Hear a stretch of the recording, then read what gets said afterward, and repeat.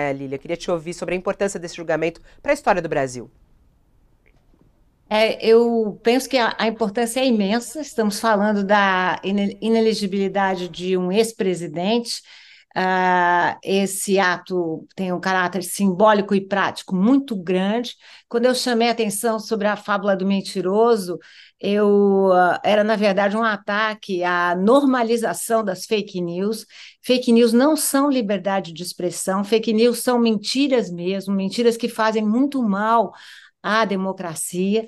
E penso que nós não podemos. Uh, o caso que está sendo julgado hoje é o caso a partir do qual se move toda uma ação. Mas, na verdade, esse caso, a reunião com os embaixadores, ela faz parte de um contexto muito maior de um, um, presidente que atacou sistematicamente a nossa democracia, atacou as urnas, atacou o TSE sem provas, uh, elogiou ditadura militar, fez muitos acenos ao golpe de Estado, ou seja, estamos falando de um presidente que atacou a nossa democracia. Então, esse é um ato capital da nossa república, da nossa res pública, e como historiadora, cientista humana, enfim, me junto a vocês, jornalistas, uh, no sentido de analisar no tempo breve e no tempo longo a importância dessa avaliação, porque essa não é uma avaliação só desses juízes, é uma avaliação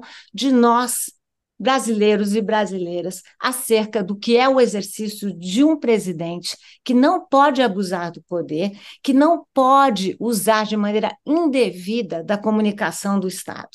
Importância capital nesse dia. Aí, bem rapidamente, só para concluir a sua primeira fala, Lilian, por que, que ele tem que se tornar inelegível?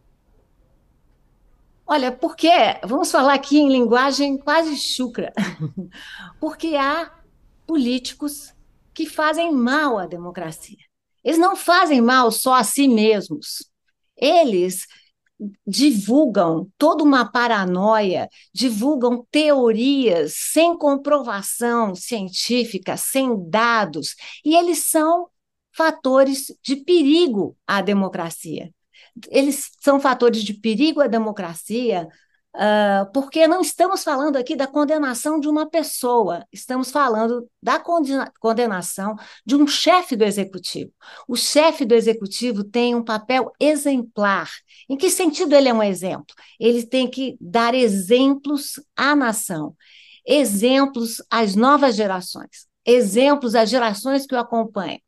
E vamos concluir que Jair Bolsonaro, não só nos seus quatro anos como presidente, mas durante toda a sua atuação como político, ele foi um pedaço de mau exemplo e não de bom exemplo. Então, a inelegibilidade, nesse caso, é um fator de merecimento. Ele está merecendo se tornar inelegível e todos nós, todas nós, merecemos não ter um político desse calibre à nossa frente e produzindo essa quantidade acelerada de fake news e elogiando governos sabidamente, comprovadamente contrários à democracia e à república.